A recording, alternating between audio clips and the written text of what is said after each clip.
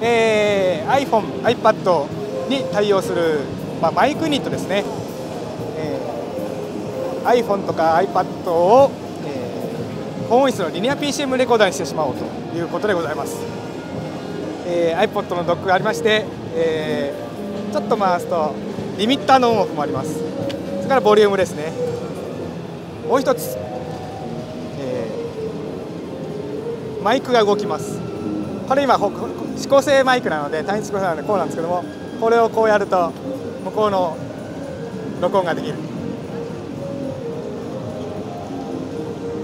ということで、えー、まだ時期は、えー、発売時期はちょっとまだ未定ですが